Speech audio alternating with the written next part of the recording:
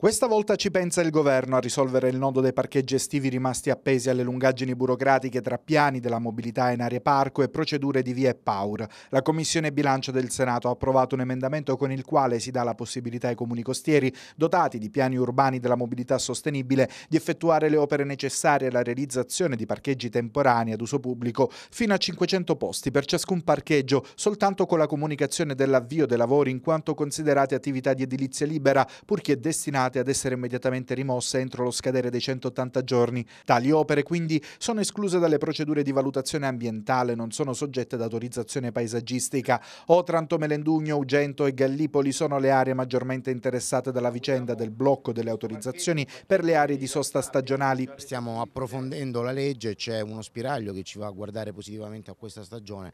Nelle prossime ore ragioneremo su come poter usufruire positivamente di questo emendamento approvato eh, in Senato che ci dà un aiuto nell'accelerazione rispetto alla programmazione che abbiamo costruito in questi mesi. Proprio a Gallipoli è stato inaugurato un maxi parcheggio dove un tempo sostavano le giostre, nei momenti di festo si accendeva la focaredda di Sant'Antonio.